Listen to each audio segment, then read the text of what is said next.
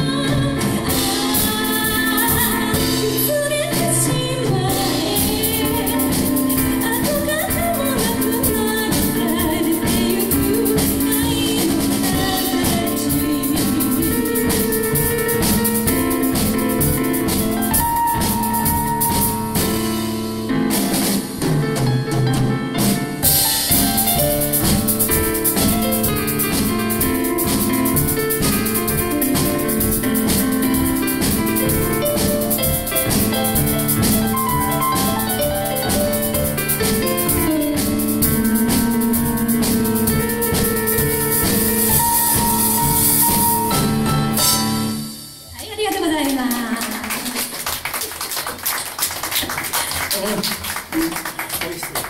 美味しい、ちょっと物足りなかったね。はい、ありがとうございます。